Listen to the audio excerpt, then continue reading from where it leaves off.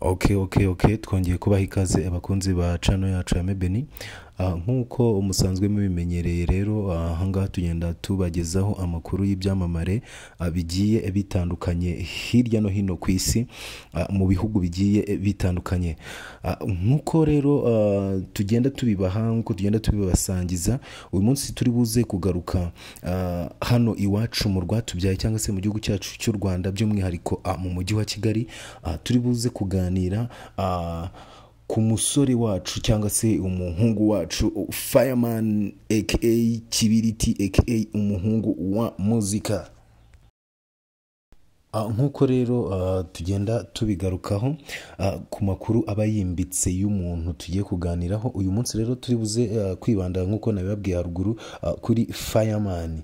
Amazina ye nyakuri fireman yitwa uwimana francis aka kibiriti aka umuhungu wa muzika. Yavutse ku itariki ah, ya kane z'ukwezi kwa mbere igihumbi kimwe magana cyenda mirongo inani n'icyenda avukira hariya ah, mu bitaro bya chik bya kaminuza ya kigali. Akaba yaramenyekanye ubwo yari hamwe n'itsinda rya Tough Gangs. Ah, iryo tsinda rero ryari rigizwe n'abasore batanu. Harimo bita Jay Paul hakabamo bita Green Person hakabamo bita Bulldog hakabamo bita Fireman hakabamo bita eh, Pifla. Ah, ku bantu rero ah, batazi icyo Pifla bisobanuye Pifla ni amagambo y'impine.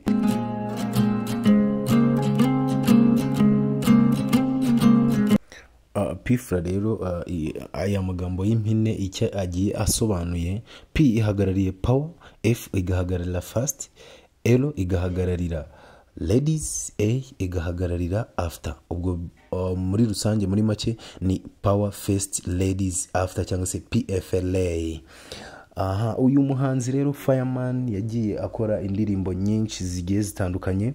Ah, twavuga indirimbo bita ibiganza twavuga nk'amasinya twavuga muzadukumbura ari kumwe na Neri Ngabo twavuga Mama Rwanda featuring Kamishi twavuga Sagihobe twavuga Amashimwe featuring Chris Easy ah, twavuga Umuhamya twavuga Ubuto bwanjye ah, n'izindi nyinshi yagiye alonshinga ashyira ahagaragara.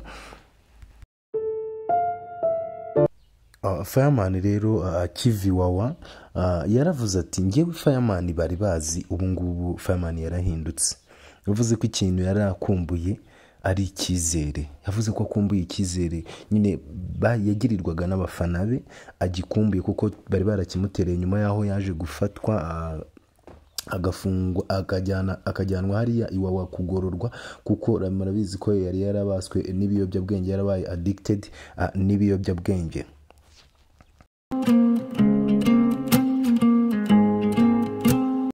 Mu baraperi beza ah, u rwanda rufite magingo aya kugeza magingo aya Ah, ubu ngubu rero uyu muhanzi nk'uko bigenda bivugwa hirya no hino uko agenda atangaza avuga ko ah, hip hop eh, ari- nk'ubuzima kuko ivugwamo ibiri mu ndiba y'umutima we eh?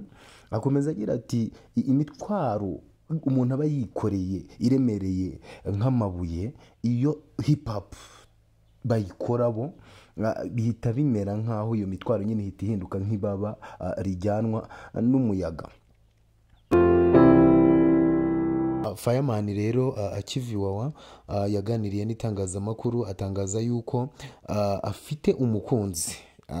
Uwo mukunzi we rero yamuvuzeho ibintu byinshi bigiye bitandukanye ariko amuvuga nyine ubutwari bwamuranze aragira ati ibaze umwana wankunze igihe abantu bose bari baranyanze. Isi yose yarankuye amaboko. Ariko we yarakomeje arahaba. Ah? urumva ko ya- byamukoze ku mutima. Uwo mukunzi we rero amazina ye nawe yitwa akabera charlotte bakaba bari bamaranye ah, imyaka ibiri mbere y'uko fireman ajya kugororerwa iwawa. Hariya ku kirwa Ah, hanyuma rero ah, akivayo iwawa fireman yaraje ahita akora mariage civile cyangwa se ajya mu murenge. Ah, ah, ibyo birori bya mariage civile ya fireman yabaye ku itariki enye z'ukwezi kwa mbere bibiri na makumyabiri na kabiri ah, byabereye hariya i rwamagana ah, mu murenge ah, wa mwurire. Niba rero utarakoze subscribe iki ni cyo gihe cyiza cyo gukora subscribe kugira ngo ukomeze udushyigikire. Kuko ahangaha tugenda tugaruka ku makuru y'ibyamamare bigiye bitandukanye hirya no hino ku isi kandi tugenda tugerageza gucukumbura amakuru abantu benshi baba batazi kuko music ni ikintu cyiza cyane ni ikintu abantu twagakwiriye gushyira imbere twagakwiriye gushyigikira abahanzi bacu noneho by'umwihariko hano mu rwanda mu gihugu cyacu cyatubyaye kora subscribe rero ukomeze udushyigikire